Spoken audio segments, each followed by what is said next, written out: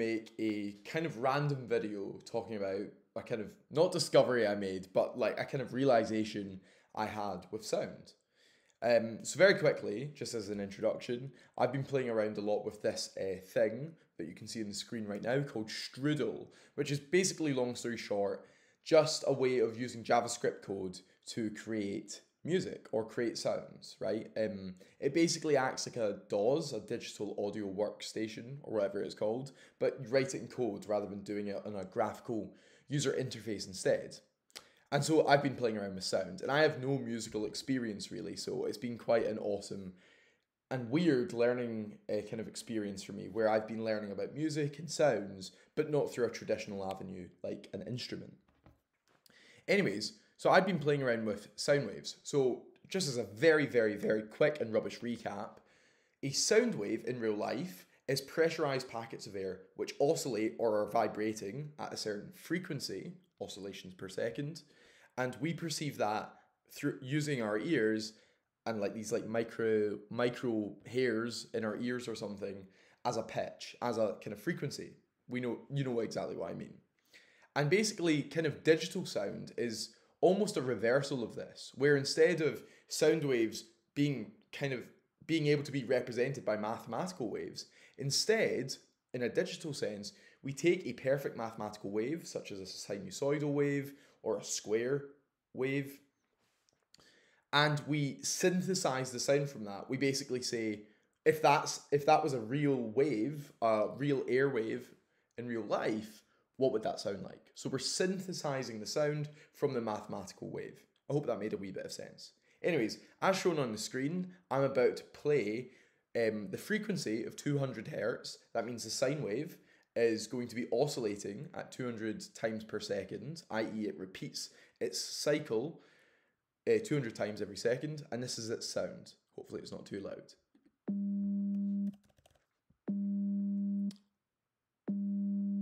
It almost sounds like someone's phone vibrating. It's a very kind of dull, quite boring sound, let's be honest. But then, and, and sorry, just uh, for clarity, the wave you can see below is that sine wave. You can see it being played. Now, let's change the wave to a square wave. So now we're going to have a square wave which repeats this square oscillating pattern 200 times every second. But it's at the same frequency, 200 hertz.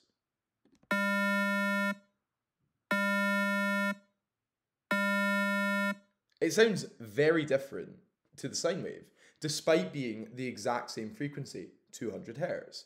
And I, for the longest amount of time, just didn't understand why this was the case because in my like from my very crude understanding of music, I was like, if the frequency of the wave is the pitch effectively and how high we hear the sound, then why would a sine wave and a square wave played at the exact same frequency sound very different?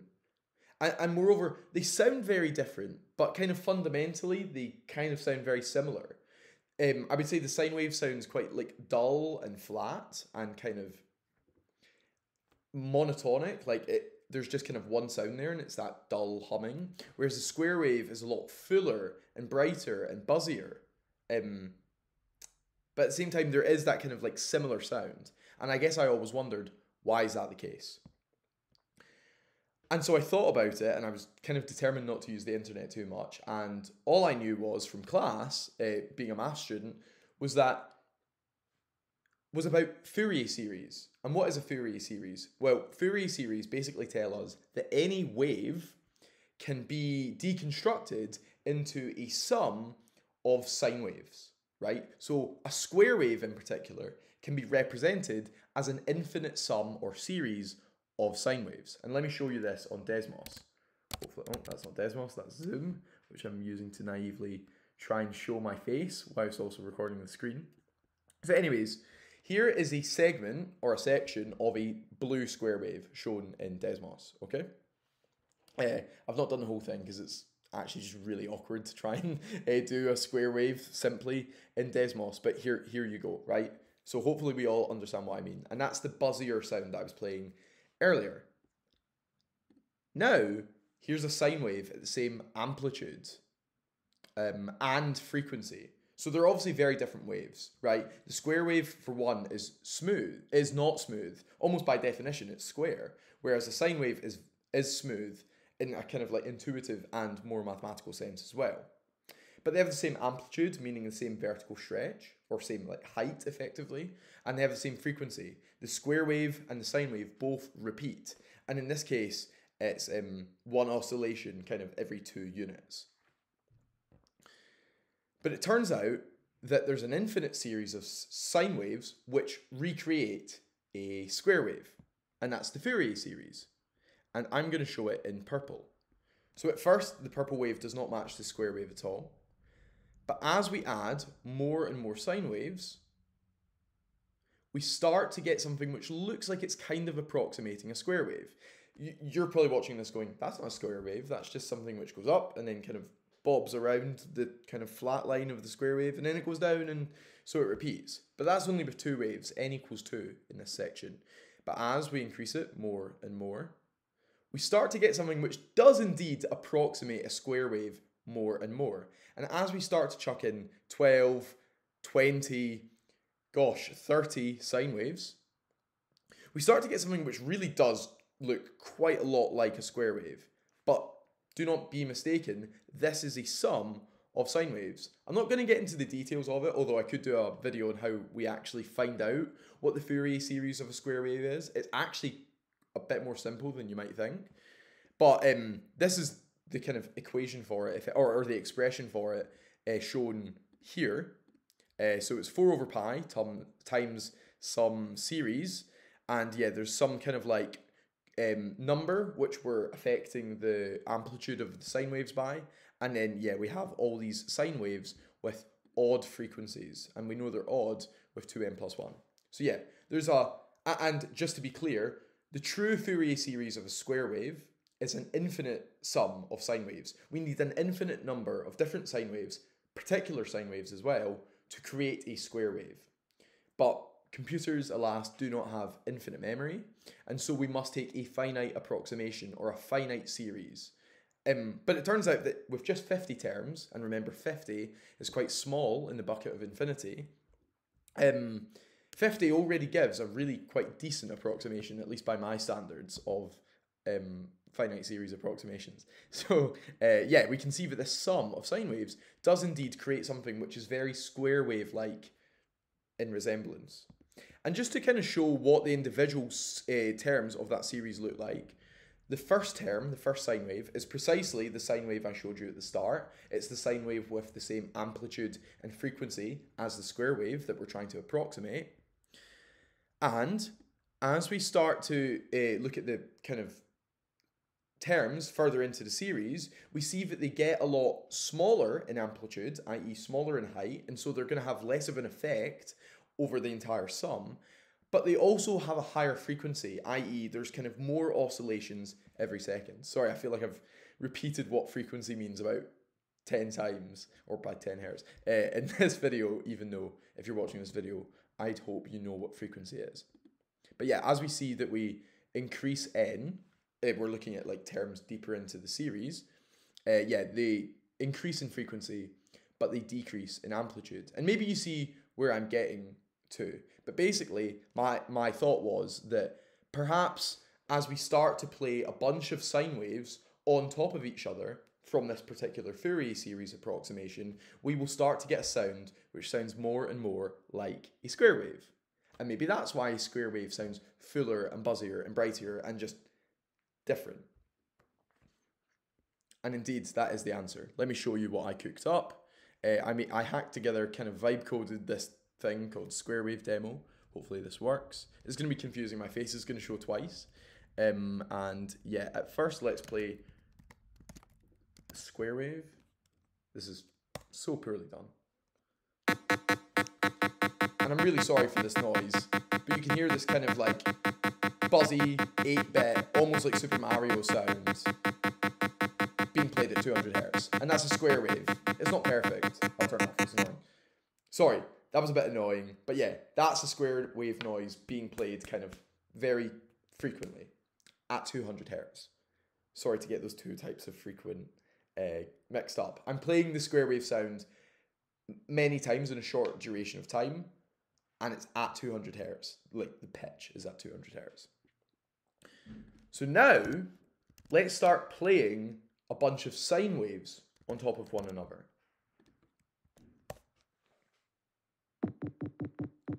I don't even know if you can hear that, but at first there's just this low humming sound, and that's a sine wave being played for a very short duration at 200 hertz.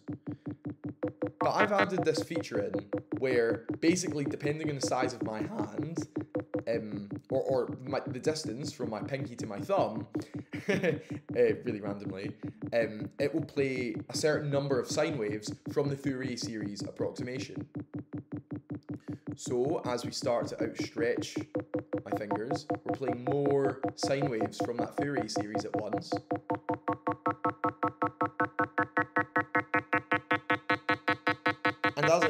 Stretch them out, there's probably about 50 sine waves playing at once. We definitely get that square wave sound, that buzzy sound. It's kind of fun. I was enjoying playing around with this. And just to compare the square wave one last time, let's see if it sounds similar at all. I'm actually a bit unsure.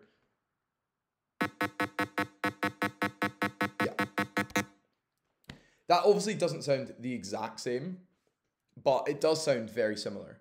And so what I thought was correct, a square wave will sound exactly like its Fourier series if you played all the sine waves from its Fourier series at the same on top of each other.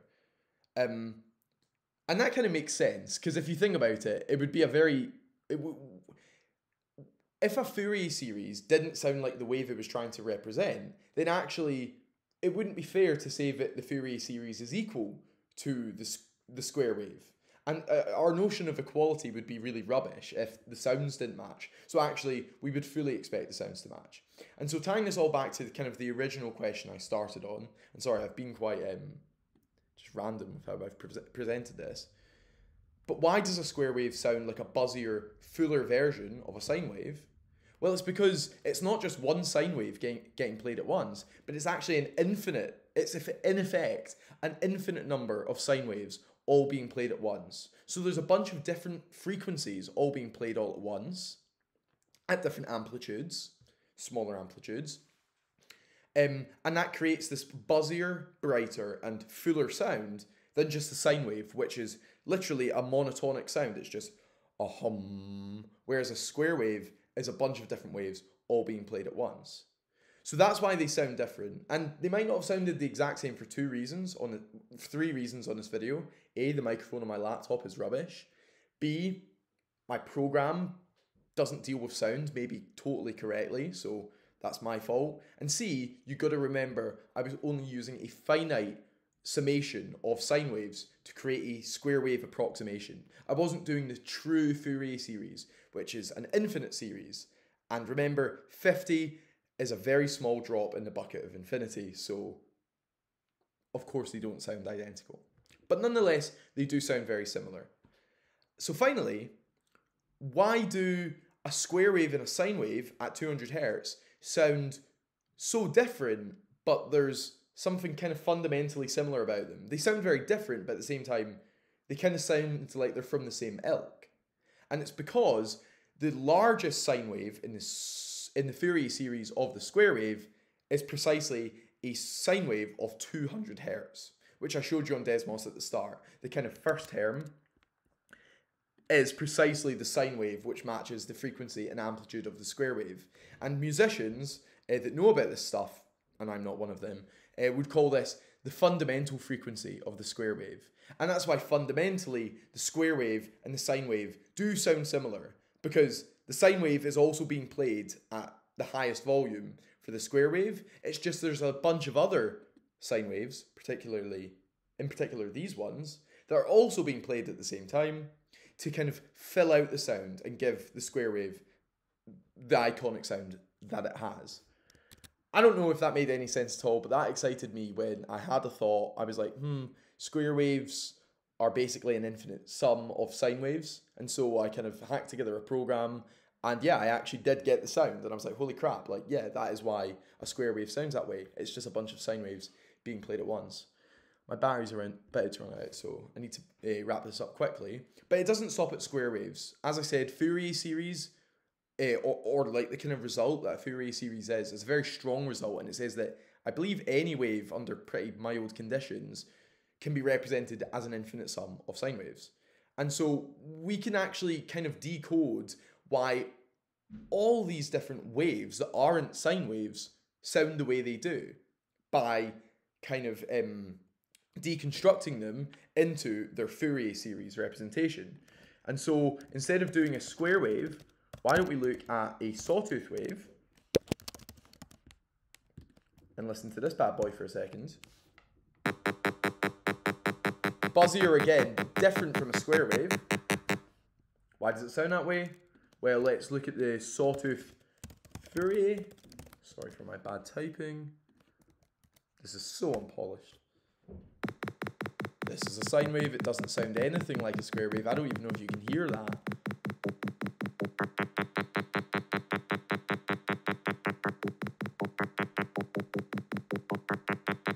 That certainly sounds a lot more like a sawtooth wave. Just one last time because I'm actually not sure. I was fully convinced that they sound the same. I'm trying to remember that sound. Yeah. So they definitely don't sound the same, but they did sound that Fourier series did sound quite similar to the sawtooth wave, at least to me when I'm listening to it in real life. And the reason I suspect that they don't sound the same is A because I've not written my code perfectly, so it's probably playing the sound a bit oddly. And B, I've simply not selected enough terms in the Fourier series. Um, I've not selected enough terms in Fourier series to really get a, a faithful approximation of the sawtooth wave. But yeah, I'm going to leave the video there. I basically just wanted to share something that I was excited about, and it's the fact that the reason that kind of synthetic sounds sound the way they do is precisely because of Fourier series. And my flatmate Stevie, who studies like acoustical engineering and sound design, she probably knew all this and probably is like, duh, you literally learn that in first year, mate. But it was fun to come to the conclusion by myself. So yeah, I'm gonna try and post some more um, strudel stuff and kind of maths and sound wave stuff in the future because it's really interesting me at the moment seeing these kind of two things come together. Uh, but I hope you watched and enjoyed, uh, and maybe you understood Fourier series um, and if you didn't, that's okay. This wasn't really meant to be an explanation of Fourier series. It was just meant to show that if you did know what Fourier series was, maybe you'll understand why a square wave sounds the way it does compared to a sine wave, supposedly under the same frequency. So yeah, thanks for listening.